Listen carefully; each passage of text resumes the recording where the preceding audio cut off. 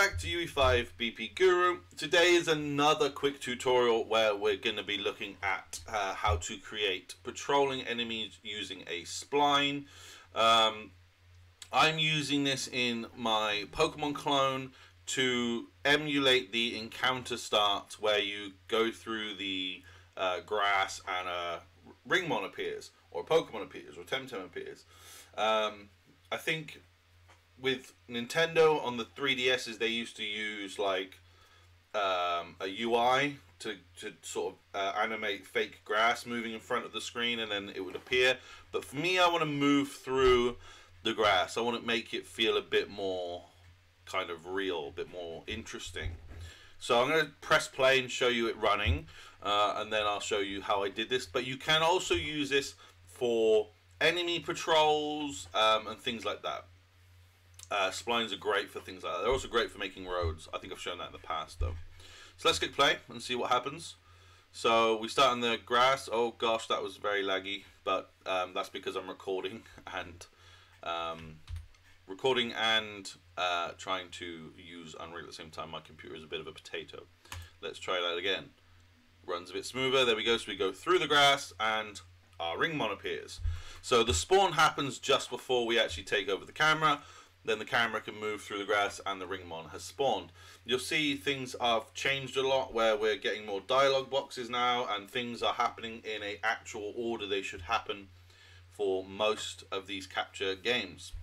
So we can run now and leave this um, as you can see I still have no loading screens in there so you can still see everything spawning in.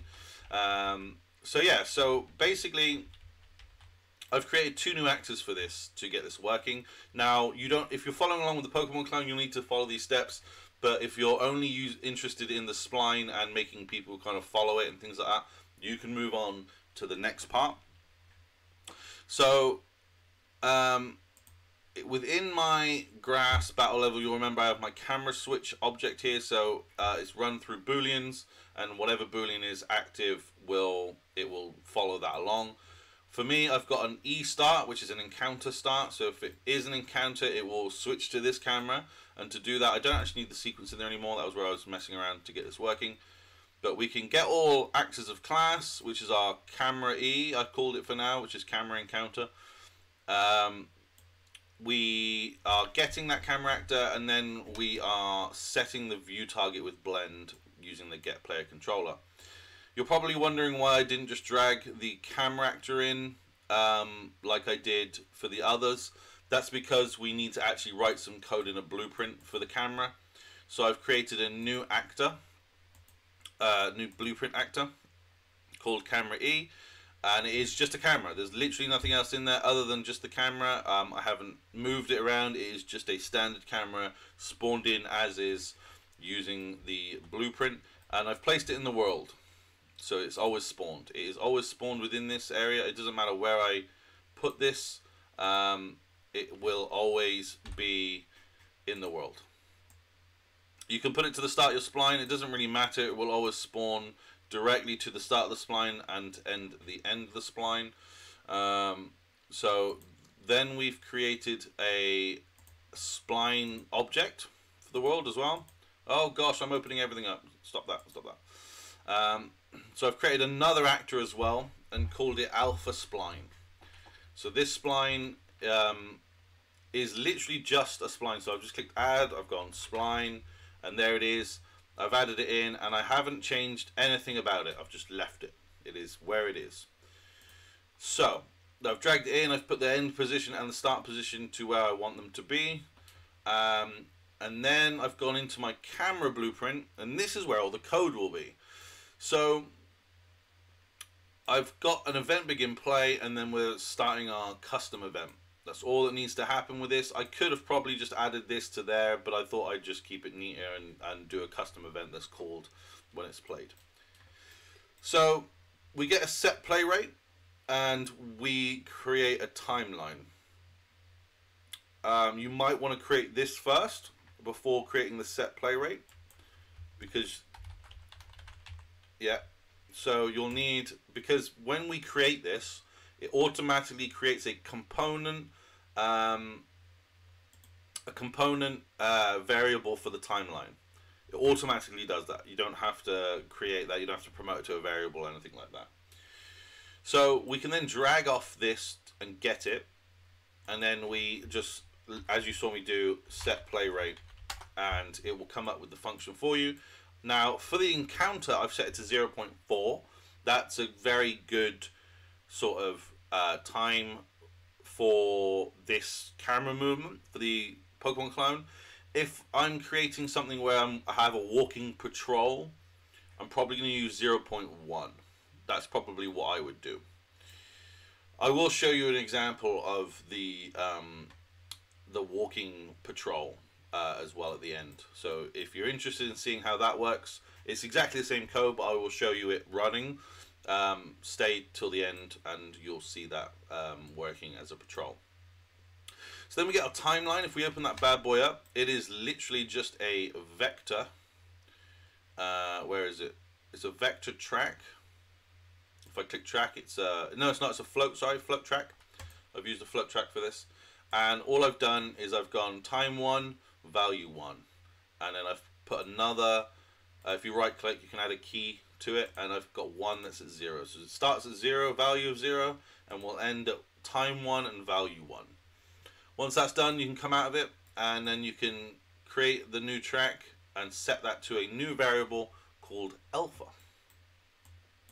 And that will keep track of where you are on your timeline from point A to point B.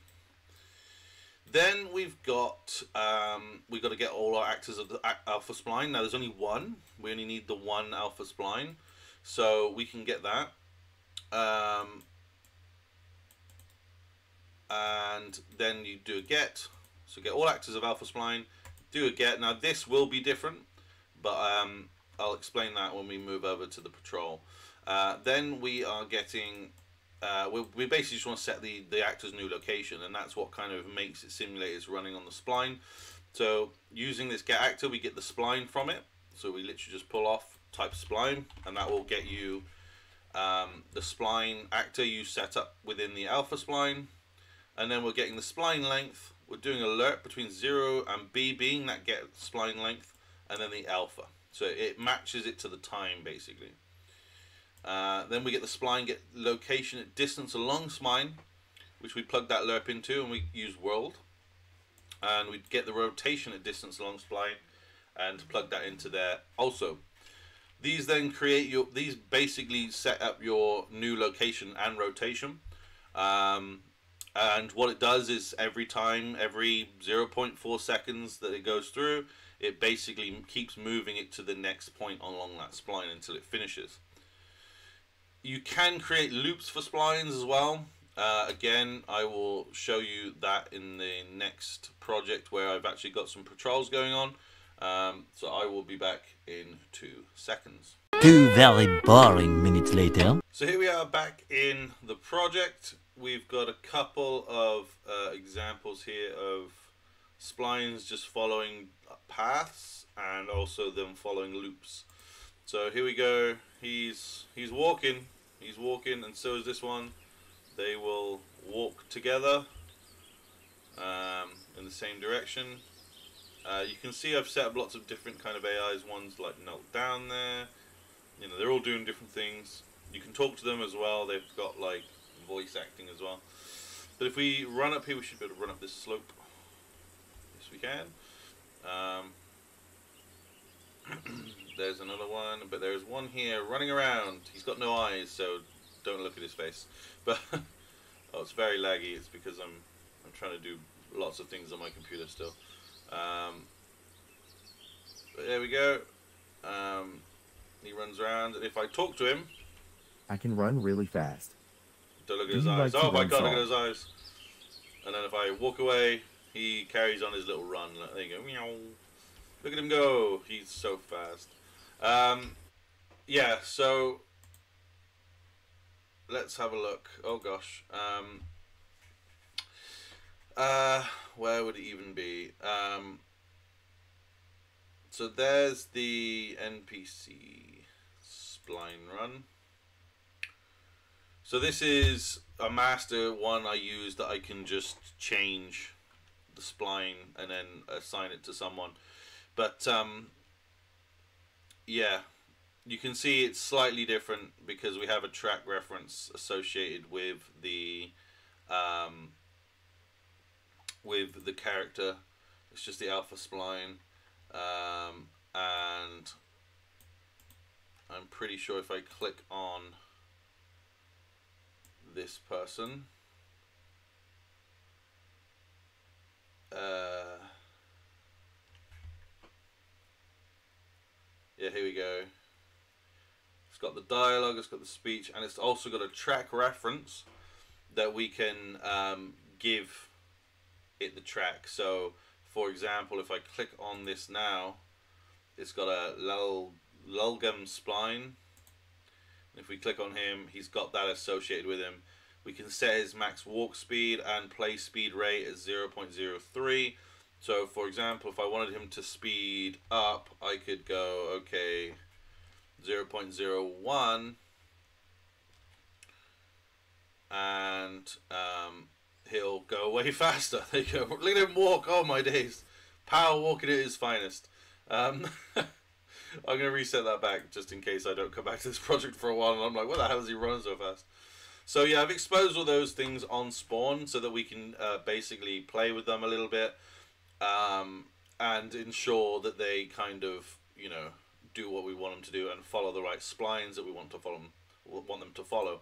So I can basically duplicate now this um, spline, name it something else, and as long as I make sure that that name is in our track reference, again, if we click on it, we've got all these different splines, it will follow that spline, and it will always go to the start, it will jump to the start of the spline and follow the spline along um, its path.